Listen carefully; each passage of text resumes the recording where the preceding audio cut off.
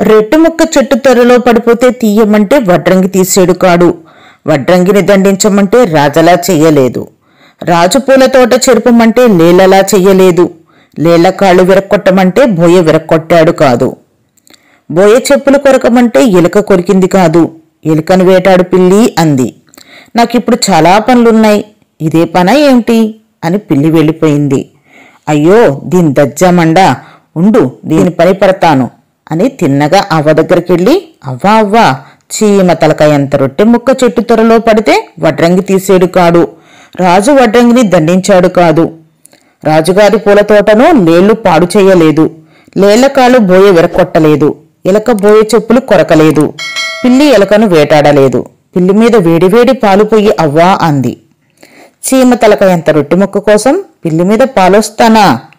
చాలు చాలే అని అవ్వ కసిరి పొమ్మంది ఏమి తులిపోతున్నావే మా అమ్మ? అని తిన్నగా తాతయ్య దగ్గరికి వెళ్ళి చీమ తలకాయంత రొట్టె ముక్క త్వరలో పడిపోతే వడ్డంగి తీయనన్నాడు. రాజు వడ్డంగిని దండించాడు కాడు. లేళ్ళు రాజుగారి పౌల తోటను పాడు చేశాయి కాదు. లేలకాళ్ళు బోయ విరక్కొట్టలేదు. బోయ చెప్పులు ఎలక పీకలేదు. అవ్వ పిల్లి మీద వేడి పాలొయ్యలేదు. అవ్వను చిత్తకొట్టు తాత అంది. అమ్మో నేను అలా చేస్తానా? చెయ్యను పో అన్నాడు తాత.